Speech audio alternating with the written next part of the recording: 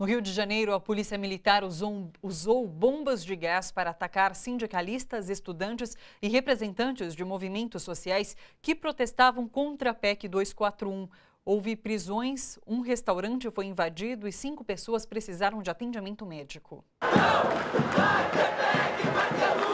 PEC do fim do mundo. Assim tem sido chamada nas ruas a proposta de emenda constitucional 241, aprovada em primeiro turno pela Câmara dos Deputados no dia 10 de outubro. A ameaça é de supressão de direitos constitucionais.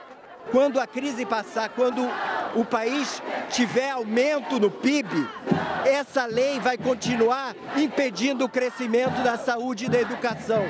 Para quê? Para quê? Para privatizar para que as pessoas tenham que pagar pelo que é um direito delas, um direito que está na Constituição de 1988. Os manifestantes protestaram no centro do Rio de Janeiro contra o estabelecimento de um teto de investimento que afetará áreas como saúde e educação por 20 anos. O estudante Jonathan se preocupa com a situação de alunos pobres nas universidades. A gente sempre falou que o filho do pedreiro vai virar doutor e está virando.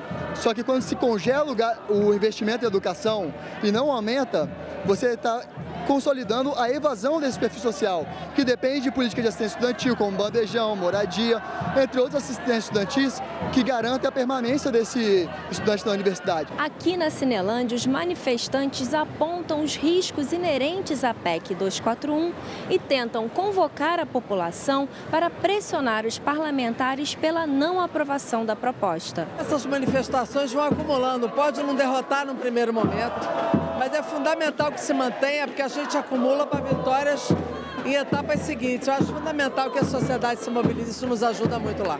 Durante a caminhada, os manifestantes lembraram que a população não pode pagar pela crise. Você tentar recuperar a economia à custa do salário dos mais pobres, né?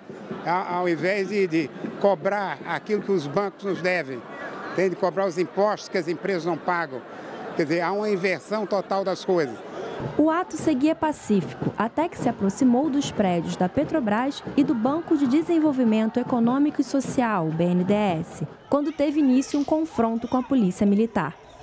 A caçada truculenta da PM seguiu de volta a Cinelândia. A Câmara dos Vereadores foi pichada, um restaurante tradicional invadido e bombas de gás lacrimogênio atiradas, atingindo manifestantes e clientes. Uma noite de tensão e revolta.